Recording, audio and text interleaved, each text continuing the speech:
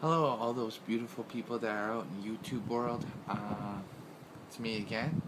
It's been two months since my last video, and I, I'm sorry for that. Um, first thing I would like to say is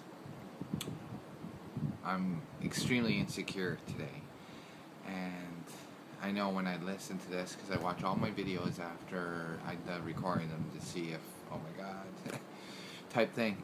Uh, I know my voice is probably sounding like a cat being thrown into a blender, so I apologize for that. It's kind of what I have to do to get it where I need it to be. So please bear with me. And if, like I said, the rules usually are if you don't got anything nice to say, don't say nothing because I don't want to know. Uh, and second of all, I apologize for how I look. I'm not really I don't feel very pretty today, so. But I think it's a good thing that people see me in my good days, my bad days, my ugly days, my in between days. So, ta da! well, it's been two months since I last seen everybody, or since you've seen me, and um, a lot has happened.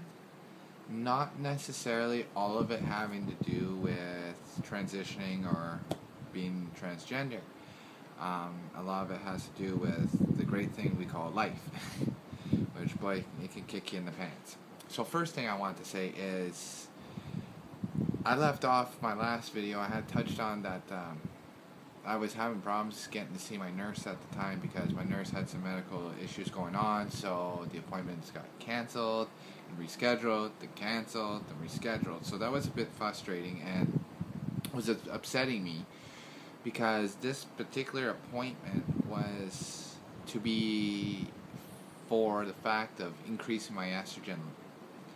So I've been patiently waiting. So, and it took a while, but finally, at the beginning of August, well, not really the beginning, but mid August, uh, it happened. And it was nice because I got increased a little more than I was anticipating. So I'm, my dosage that I'm taking now is higher than what I was hoping for. So, which is exciting because since I've been taking that, uh, some things have been starting to happen for me. Um, these are starting to come in slowly, and yeah, I know it's, yeah, it's nothing. Uh, trust me, I know it's nothing, but it's I'm moving forward also, um, I'm starting to gain more weight on my butt. Uh, uh, mind you, I'm doing things to try and help that too. Uh, and my my weight is shifted down a little bit where you can actually see my waist a little more, uh, which is very encouraging. That really makes me excited. Now, lately, I don't know what's been wrong with me, but I've been obsessed with my butt. Like I've been like, oh God, you know, is it look okay and blah blah blah. It's it's it's crazy, and I'm sure after I'm done going through that, I'll be obsessing with my chest. So it's just part of the part of the deal. Um, my hair is definitely getting a lot longer, which is nice. Uh, the the front, like the top part, is almost to the back of my head, which is encouraging. Only problem is I got really wavy, hair, curly hair. So when um, we hit really really humid weather, like we've had for the majority of the last two months, it goes poof, and it looks like uh, if it was the 70s, I'd be rocking an afro like you would not believe. But that's not the look I'm particularly going for. So it's been a little discouraging. So that's why I'm starting to, you know, try some different things to try to help. Um, I'm starting to wear more feminine clothes again helping.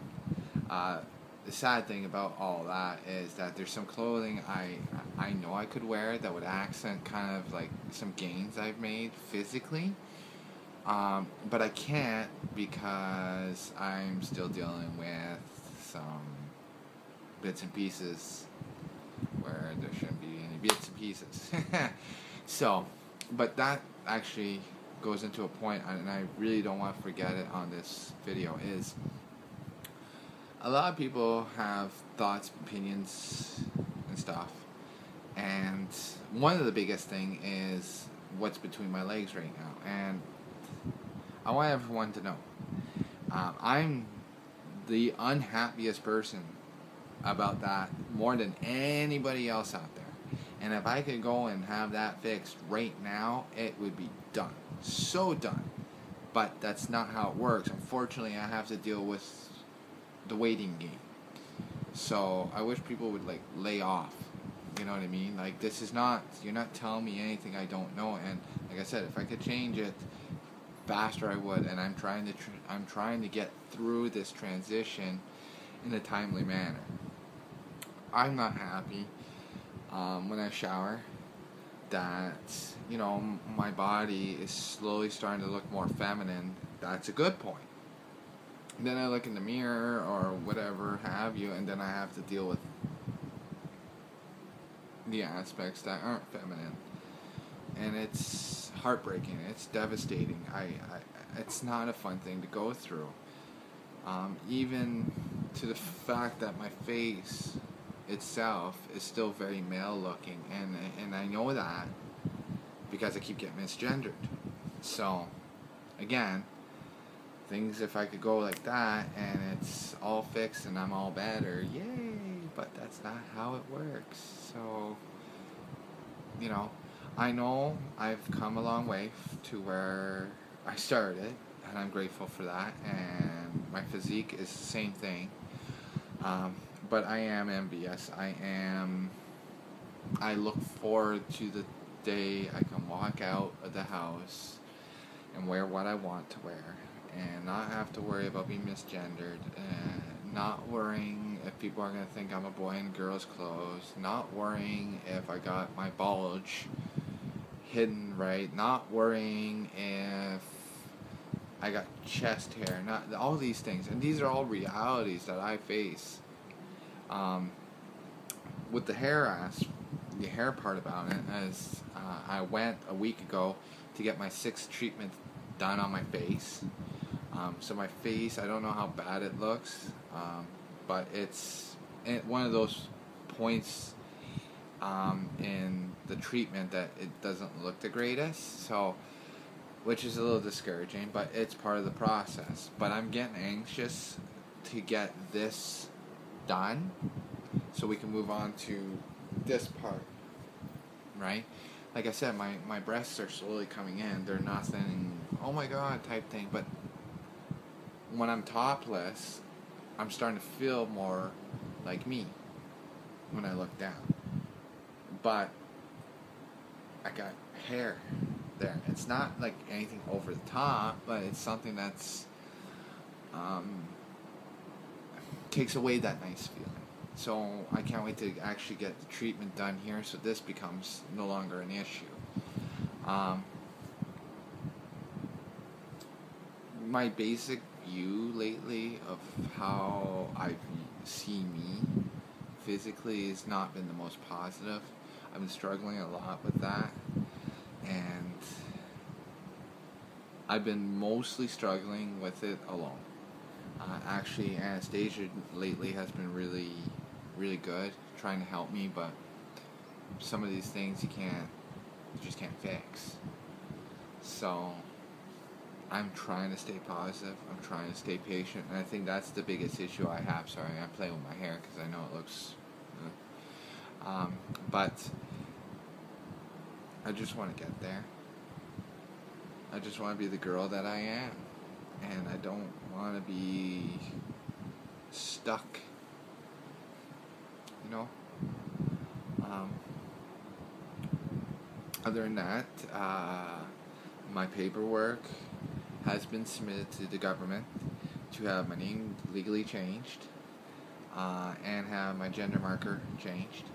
So if everything goes okay and there's no issues or no f ups my name should this should all happen right around the time that our firstborn is due. So that's exciting because I'm going to be sharing something special with, um, well, actually, we know we're having a little girl. So it's something I'm going to be able to share with my daughter. And that's exciting for me. We're both kind of being born uh, the same month kind of thing. So I'm hoping it works out that way. But since I mentioned our little girl, um, Anastasia is doing well. She's had a very bumpy, bumpy second trimester, which has stressed me out a lot. Um, her belly's starting to get big. And it's kind of funny because as her pregnancy is moving forward, I'm noticing for me, um, my biological clock is ticking. Which is really strange because I spent my whole life, you know, trying to portray this image of what I thought a boy's supposed to be, and and I had certain views and ideas and feelings about the whole having a baby kind of thing.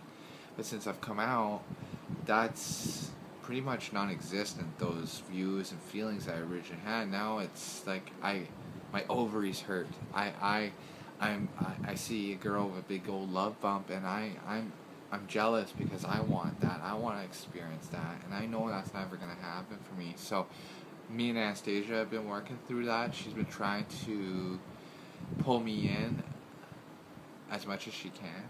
So uh, we have a name picked out for her, but I'm not gonna say it yet. I'm excited.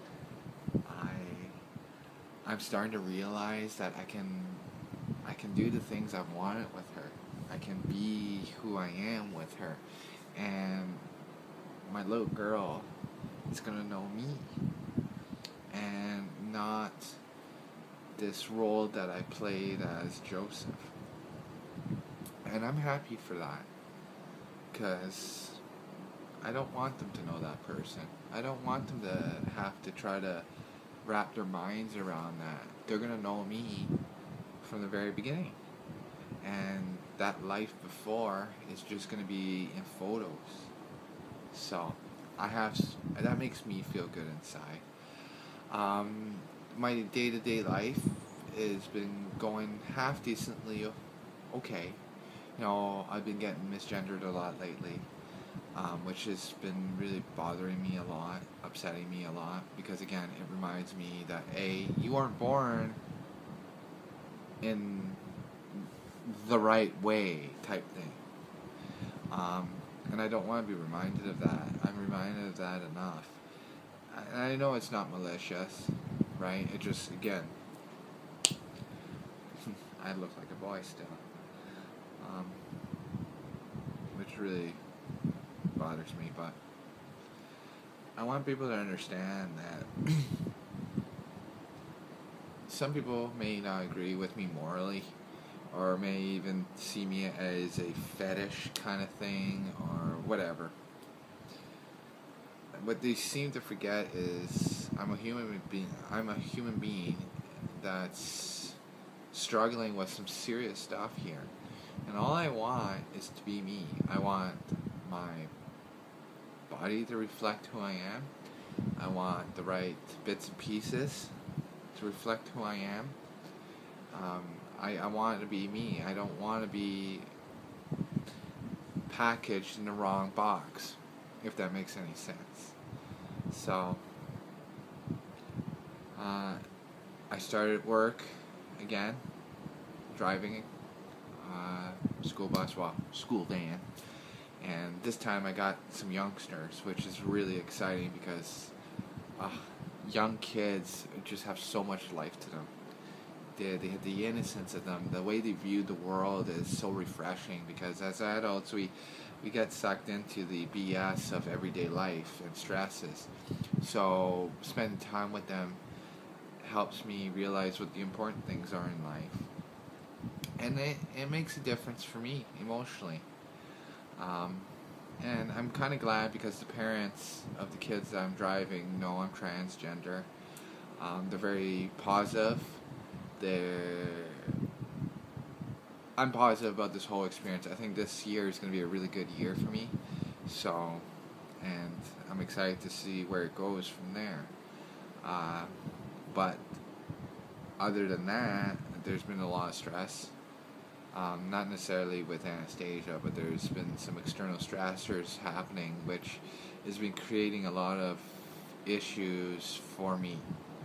Um, aside from the stress itself, And I've realized that the stress levels that I go through either helps if it's low or doesn't help. Excuse me. Um, when it's high. And, and it's been really hard. Like I said, I've been feeling really down about myself. I've been avoiding mirrors lately. I've been I've just been I've been just been sad lately. Um, I'm trying to sort through all these things and try to uh, you know take as much stress as I can out of my life, and we'll see if it works. Um, one thing I did want to mention is transitioning, and for me personally, as I transition, it's hard when I need people there or I need someone there, and then there's no one there. And Anastasia, she's been ill lately, so she's been trying her best, but you know, she can only do so much, right? Like, I'm really disappointed because you know there's some people in my life that I would have hoped that would have had at least enough common sense to at least check up on me and make sure I'm okay and how I'm doing and that, and it's not happening. Um, which has sent me into some dark places. Nothing bad's happened, thank God. So, uh, yeah, there's just been so much. Like, up here, I'm tired. I'm really tired. I'm anxious. I wouldn't, I just wanna, I just wanna be able to walk out and wear a dress. I just wanna be me. I just, I just, I don't wanna be, I don't wanna, like, I don't wanna feel like a freak. I don't wanna feel like an oddball. But, that's what's happened lately. So, um, I'm sorry this isn't the most upbeat video. Uh, I'm sorry again it took so long. Uh, I'm planning to do another one soon because I'm sure I'm gonna finish this and go, oh, I to say this, that, this, this. Um, I do thank everybody that does take the time to watch this. Um, I thank everybody for showing the love and support that they do do it does help. Um, I want the world to understand that I am a person with feelings. And what you're witnessing is me freeing myself. And it's not some fad or it's not some fetish thing or some kind of freaking mental illness or anything. I'll be honest with you the people that think that this is a mental illness, and by the way, I've had that one thrown at me lately. If you think I'm mentally ill because I'm transitioning into the woman that I am, I'm actually one of the most stable individuals you'll meet, even with what I'm going through. So, maybe you should do some research and understand what mental illness really is. And until you do, do everybody a favor and shut the fuck up type thing, you know. I just I I I hope that I could be strong and a positive role model for people. Um, transgender, non-binary, cis, it don't matter. I want to be a voice of positivity and hope and hope's an important thing. And my voice is, yeah. I'm gonna cringe when I watch this. I know I will, but again, thank you. I it, it means a lot to me. It really does. Um, everything, the good stuff that's happened to me. I hope that I am informative. I know I'm not very flashy and entertaining to watch, and that could be dull. I apologize for that. But I want to probably cut this off because I'm going to hit 20 minutes again. That seems to be my thing. Um, so if you watch this whole thing, thank you. Um, take care of each other. Love one another. You're not a freak. You're not an outcast. You're different, yes. But being different is a good thing Um, I want everybody out there to love one another and respect one another because at the end of the day, we're all human. And I look forward to seeing all of yous again. And uh, we'll talk about more stuff. Take care of each other.